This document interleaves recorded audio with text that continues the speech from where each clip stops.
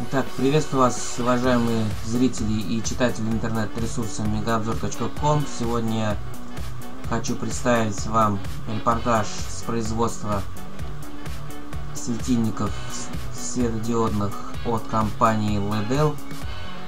Эта компания базируется в Казани. И, если честно, для меня стало это большим открытием, что производство с такой хорошей организацией существует в моем родном городе.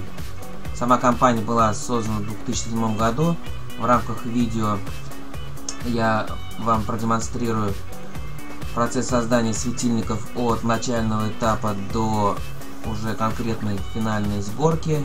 Думаю, будет интересно. Видео очень насыщенное. Итак, начинаем.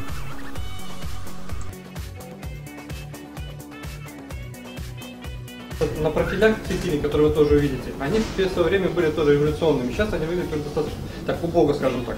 Соответственно, да, вот сейчас Артем уже начал разработку следующего поколения светильника, который будет после этого. Просто процесс он постоянный, а что касается новинок именно по светоотдаче, по электронике, это постоянно меняется. Вот в старом корпусе драйвер менялся, наверное, ну, раз 10 точно. Уже даже вот в новом изделии, уже сейчас мы ведем переговоры о, о новых поколениях. Ну, драйвер это скорее нечто внутреннее, а да. светодиоды это внешнее, то, что влияет на Светодиоды обновляются, как только выходит ну, новый я они обновляются. Мы, а, вы... Это единственный светильник уличный, трассово-магистральный, который сделан как цельная отлитая деталь и имеет вот такие вот каналы прохождения воздуха. Все остальные таких каналов не имеют, и поэтому размеры гораздо больше. Они по 18 по 19 килограмм. Это самый легкий светильник, самый маленький, такой мощности, который дает 35 тысяч Мощность у него 330 ватт.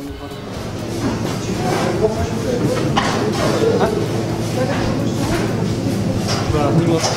Сейчас мы пройдем сначала к автоматическому установщику, потом от него уже будем идти по процессу сборки самого драйвера. То есть как это дело собирается. Этим занимается с утра до вечера. Это начальник вот этого отдела, который делает вся автоматическая линия. После автоматического установщика, можно? После автоматического установщика вот эти графики, как вы видите, э, температура выдерживается крайне точно. Вот сейчас едет плата, которая как раз сейчас проезжает а, внутри. показывается ее путь, да? Да, да, это вот сейчас где проезжает, где находится плата сама. Вот. И, соответственно, вот эти температурные графики уникальны для каждого вида плат и компонентов. То есть в дальнейшем я вам покажу, что вышло из него. Установлено, сейчас уже спаялось, пока мы с вами стояли. Все, платы готовы. Их разделяют на специальном разделителе. И фактически плата готова. Вот так работает автоматическая линия. Дальше она устанавливается уже непосредственно в светильник. Угу. Как вы заметили, задняя часть алюминиевая. Это делают не все производители. Это нужно для того, чтобы эффективно рассеивать тепло, которое выделяет светодиоды. Потому что вы видели, что корпус светильника это фактически радиатор, ну, который... Э, плата алюминиевая, покрыта полиамидным слоем, и сверху на полиамидный слой нанесено э, электрические уже дорожки и различные надписи. Защищает нежные светодиоды от бросков напряжения. Это драйвер, это источник тока. А, вот. Только не просто источник напряжения, а источник тока. То есть все компоненты, которые, каждый компонент, который здесь установлен, имеет свой паспорт и свою историю происхождения. То есть мы можем отследить, откуда он приехал, кем он был сделан. И, соответственно, гарантировать качество.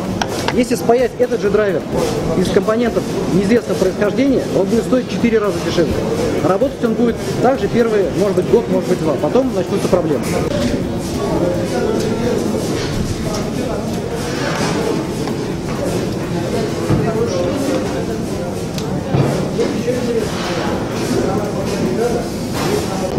Это огромная машина, Можете вас корпус состоит из полностью литой части выше. Фактически, да. А, еще снизу литая этот, э, линза. То есть фактически светильник состоит всего из четырех деталей, обеспечен герметичной всей конструкции. То есть это просто, это удобно, не надо ничего никуда вставлять. Потом все это дело а пакуется. Она уже не Его параметры, дата выпуска, ОТК, который выпустил сюда драйвер, номер пайщика, который его паял, и версия самого драйвера уже пришита сюда.